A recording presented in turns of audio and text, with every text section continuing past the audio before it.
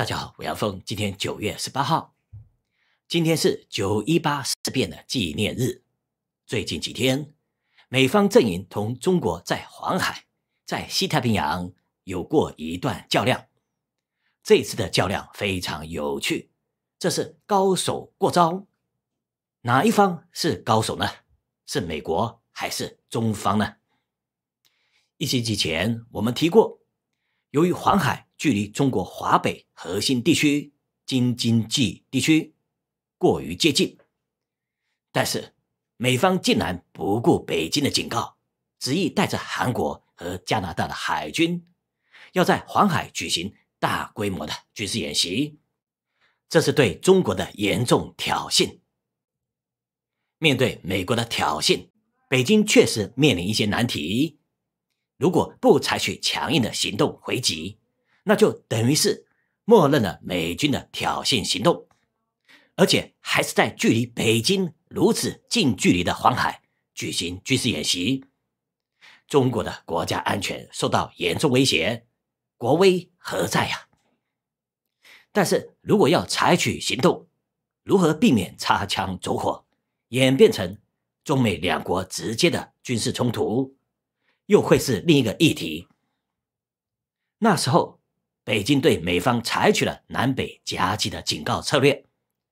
中国海事局发布禁航公告，解放军将于九月十号到十七号在渤海和黄海执行军事任务，划下了禁航禁区，要求所有的船只不得驶入。这就把美加韩三国在仁川的军舰给封住了。但这只是中国海事局发布的禁航公告，北京的动作远远不只是如此，还有更多的措施在后面。若不如此，怎能够彰显中华威仪呢？在武侠世界中有所谓的高手比划，双方不需要真正的动手，而且是采取模拟的方式，两人隔空比划。金庸小说《倚天屠龙记》中，六大派围攻光明顶。张三丰首徒也是武当七侠中的老大宋元桥，眼见天一教教主白眉鹰王殷天正已经同多位的对手过招了，宋元桥担心殷天正会因此内力不济，恐胜之不武，因而采取了隔空比划的方式，这是只过招。不实际的动手，这是怎么回事呢？实际上，北京有多招的后手同时进行。一、东海军演，中国大陆与美加韩演习的前一天到后一天，在东海举行了军事演习，这相当于截断美日军舰的退路。如果日本也参加的话，二、中俄联合军演，中俄两国军舰。与日本海联合军演，这路线是阻止应对日本和美军从日本基地出发，向美加韩演习区域增援。三，山东舰航母向关岛进袭，大陆山东舰航母编队近二十余艘的海军军舰，穿越台湾南端的巴士海峡，在西太平洋举行军事演习。如果美军航母从关岛的方向往西北前进，开赴美加韩演习地点，山东舰航母编队就会毫不客气的直捣关岛。四试射东风二十一 D 反舰弹道导弹。据消息，大陆火箭军向渤海试射了东风二十一 D 反舰弹道导弹。这是对美国十足的警告，但是不针对第三方。其实到底针对谁，大家心里有数。不过试射东风二十一 D 反舰弹道导弹的消息，中国官方并没有证实。但这个说法意味着，除了海上的直接较量对阵之外，中国有多种型号的东风反舰弹道导弹。有时候有些事不提醒一下是不行的，总是要在适当的时候提醒敲打一下。以上这几点就是中国隔山打牛的军事动作，警告美加韩三国。其中以西太平洋的山东舰航母编队阵容最大，军舰的编队规模也最为确定。有没有效呢？结果是美加韩三国的所谓的大规模军事演习虎头蛇尾，规模缩水，草草的落幕。九月十七号，美国海军一架 F 三十五 B 隐身战机与美国东海岸的南卡州军事基地起飞，在训练期间失事坠毁。这件事原本同停靠在韩国海域的美国号两栖攻击舰无关，但是由于还是丢了美国海军陆战队的脸面，因此号称是闪电航母。携带有多架的 F 三十五 B 的美国号两栖攻击舰，于军演后的九月十八号悄然返航了，返回到日本佐世保港。据消息，美国有两个中队的 F 三十五 B 战斗机部署在日本。说难听一点，F 三十五 B 出了事情，对美国部署在日本的 F 三十五 B 打击力量。当然会有影响了，尤其是 F 三十五 B 就是为了配合美国部署在日本的两栖攻击舰执行任务，而美国号两栖攻击舰就是隶属于第七舰队。美国号两栖攻击舰不方便，那么加拿大和韩国的军舰呢？据报道，加拿大海军护卫舰渥太华号在东海。自由航行的时候，遭遇了中国军舰和所谓的海上民兵船只的跟踪、监视和侦查。加拿大海军甚至于控诉了中方船只对其进行激光照射，导致加方的水兵眼睛视力受损。所谓的激光照射，这个说法难以证实。当然，这都是加方媒体的报道。不过我想啊，小孩子调皮嘛，打个屁股就行了，不需要照射，对吧？原本美和韩国媒体宣称，这次的军演可能会有航空母舰参加，军舰的规模超过五十艘，会有舰载飞机、潜艇等完整的编队，三方的军队人数将超过一万人，因此宣称。这是有史以来规模最大的黄海军事演习，然而最后的军演规模却是严重缩水，只有二十艘的舰艇、十架的飞机和三千三百名的士兵参与了演习。根据美国媒体的说法，这些军舰、飞机和士兵主要还是来自于韩国的海军。美国海军出动最大吨位的军舰。是美国号两栖攻击舰，而正在亚太巡航的里根号航母并未参加。加拿大也只派遣了一艘的护卫舰凑数。这就是美加韩三国军演的最终规模，还不如中国大陆的山东舰编队。重点来了，为什么会如此呢？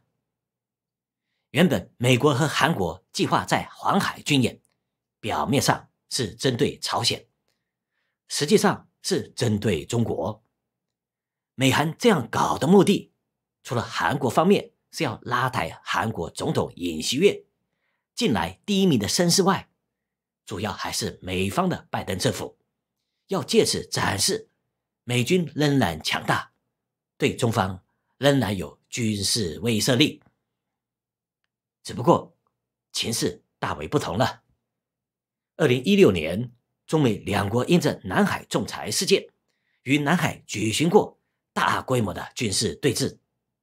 当时是上百艘的中国军舰对上美国两艘的航空母舰打击群。七年前，那是不得已，由于美军航母仍然强大，中国虽然有东风二十一 D。和东风二十六反舰弹道导弹，但是美军赌中国不会真的用东风导弹来打击美国的航母。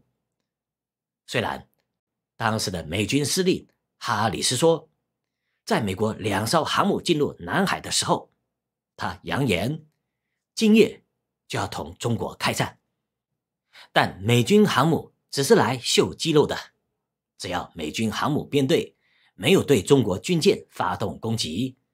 中国的东风导弹也不会对美军航母开打，在不发射东风导弹的情况下，中国也只能够调动上百艘的军舰同美军航母对阵。这是因为中国的东风反舰弹道导弹实用，但却没有那么好看。什么是好看呢？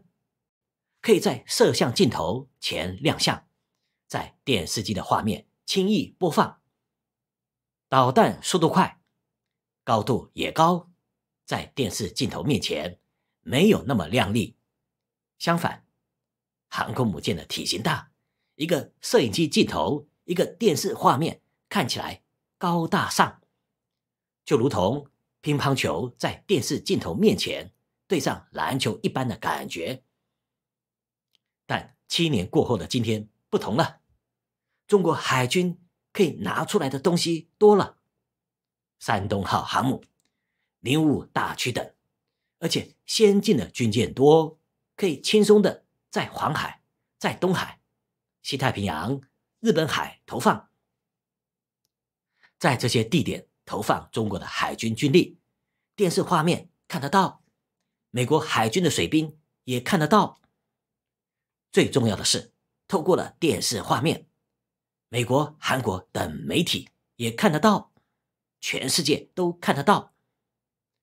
美国人向来重视宣传，过去是电视宣传，现在有新媒体的宣传。在这些媒体的画面的宣传下，中方军事力量强大，可以透过这些画面传播到美方阵营，还包括美国那些的智库，可以减少将来这些美国的智库们。闭门造车的情形。回到前面的说法，美西方关于挑衅，透过一些军事行动或是政治上的措施，向对手进行政治讹诈，看能不能捞到一些好处。这种例子非常多啊。然后美其名为这是专业的行动，要求被挑衅的国家、被讹诈的国家。需要以专业的行动回应。如果二零一六年中国发射了东风反舰弹道导弹，美西方会说：“哎，那不是专业的行为哦。”由于中国不会以军事行动挑衅他国，在这方面中国就吃亏了。也因此，美国老是说，中美两国需要护栏，避免两国的误判和冲突。因为美国总是挑衅的那一方，但如今不同了，美国想要看专业的军事行动，中国给得起。山东号航母编队二十一艘的军舰，就是完整的海军打击阵容。这是要告诉美军，倘若在战时，美军航母里根号真的开赴了黄海进行军事演习。那可能就是有去无回。首先会被中国的东海舰队拦截。如果侥幸得以生存，里根号航母在策反的时候，还会遭受中国山东舰航母再一次的拦截，回不了日本基地，也去不了关岛基地。如果美军想要从日本的军事基地增援，中俄联合海空军的力量。也会对其进行拦截，不论是日本或是在日本基地的美军，都不要妄动。更不用说中国的岸基飞机和无数的陆基导弹。对韩国而言，不要想着占便宜，想着趁美军航母的保护来占中国的便宜；对美国而言，也不要想着从挑衅中捞一些好处。不管是政治上的、拜登选举上的或是其他方面捞好处，因为美国想要看的专业，中国都有，从各式的导弹、驱逐舰、航母、舰载机、隐形战机等，应有尽有。还有各种的电视镜头、YouTube 的画面也都有，能够充分满足美国军方、政界人士、新闻媒体和美国民众的欲望。我们做一个结论：美方在讨不了便宜、捞不到好处之下，面对中方的海空军力量以及各种的专业回应，美方也只好缩手，缩减了。军演的规模。另一方面，中方可以拿得出来的手段也比以前多了，这方面也是我们之前强调的。中国军事武器在实用和门面方面要兼具。东风二十一 D、东风二十六、东风十七、鹰击二十一和东风二十七导弹，这是实用。歼二十、歼十六、歼三十五。航空母舰、运二十、零九五、零九六等核潜艇，以及未来的轰二十，是实用兼门面。这些除了实用之外，还可以满足美西方人士的好奇心，也能够产生足够的威慑力。有了这些实用和门面等高大上的军事装备，美西方不服也得服啊！这一次的美加韩军事演习，美国倒也罢了，美国可以找一个理由说这是韩国主动邀请的军事演习，美国只是配合一下而已。然而，韩国总统尹锡悦他的麻烦就大多了，非但无法借着这一次的军事演习来拉抬他在韩国国内低迷的支持率，他还得要面临许多的难题。包括经济的难题和反对派势力的掣肘。韩国反对党党魁李在明正在进行绝食静坐，尹锡悦的前途不妙啊！对中国而言，中国军方给美加韩演练了一次兵法，面对美方阵营的挑衅军演，中方的手段更多也更纯熟了。那么，为什么？中国现在的手段可以更多，也更纯熟呢？没办法，这是因为中国实力的增长，包括了军事和经济的实力。今天的分析和推理就到这里，这里是风云天下杨峰视频，谢谢各位的收看，我们下期再会，大家平安。